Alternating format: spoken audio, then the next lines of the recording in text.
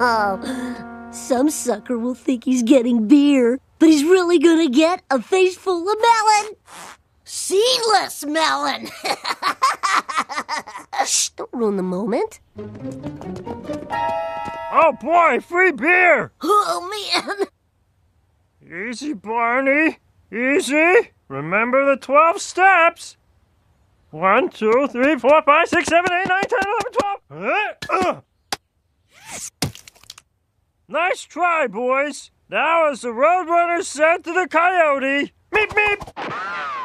Oh, everyone in town is wise to us. We need someone new we can prank.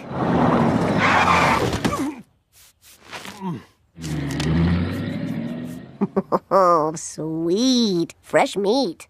Meat's not sweet, it's savory.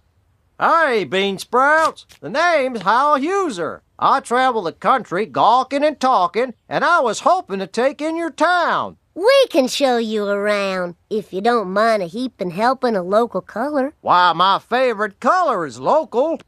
Ooh, watermelon. Want to plant the seeds? It's seedless. Oh. Radioactivity? That means it's a place where we do radio activities. Well, I'm happy to be exposed to that kind of radioactivity. you know, the fish here are so friendly, you can walk right up and feed them. Hmm. well, howdy, little fella. Ow! Oh, ow! No! I can't wait till this is over! Ow! I was thinking maybe we could visit the hospital now. Perhaps a stick of gum will lighten your mood. It always has in the past. Ow! Finger pain? I thought I had gum coming. That tears it. Uh, I've been smiling for 47 years, and you two broke my streak. Shame on you, and shame on you, and shame on your whole ill-mannered town. Hey, that guy's shaming us. My self-esteem sure didn't need that. Ow! Yeah, get out, Shamey!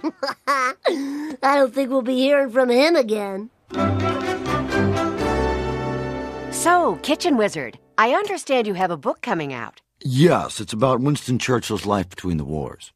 Up next on the Soft News Network, let's hear from our own wide eyed wanderer, Howell Huser.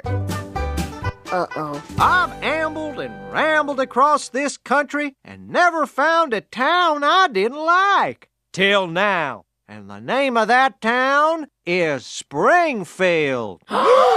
I was attacked, humiliated, and fed misleading gum. I give Springfield the lowest rating I've ever given a city a 6 out of 10.